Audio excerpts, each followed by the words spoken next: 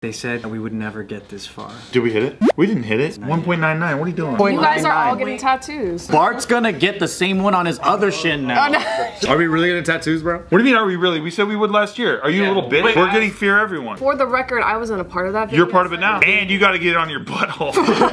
Then everybody's got to get on their butt. no. Yeah. You really want Bart's? Because the thing is, I already got fucking Asian character. I'm gonna be a whole typewriter. I'm gonna be an Asian scroll. I'm gonna be a weird stereotype. This white girl is getting like Asian character. I have no ink on my body, really but I like- agreed to it. And I'll get the double one. That's extra stupid. Really? Would you? I would if everyone was getting it. Oh, we gotta do it.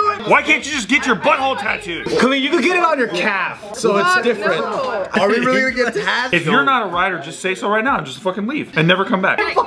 Anthony has to get it too. I think Anthony's gonna be in Indonesia. If Anthony's gone, you have to sub for his leg. Anthony, please.